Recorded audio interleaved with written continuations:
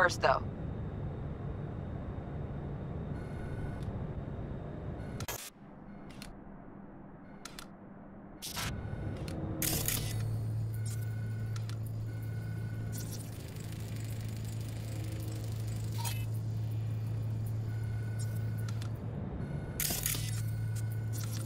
Shaft may link both rooms, looks like.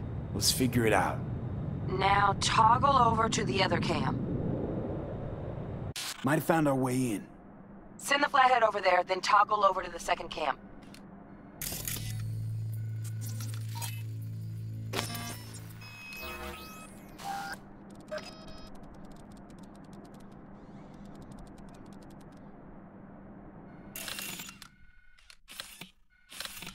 Now toggle over to the other cam. Flathead into the chair, V.